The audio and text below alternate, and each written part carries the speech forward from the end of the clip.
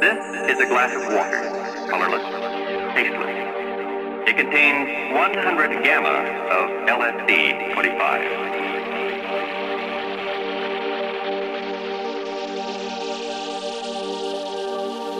Let us observe the effect.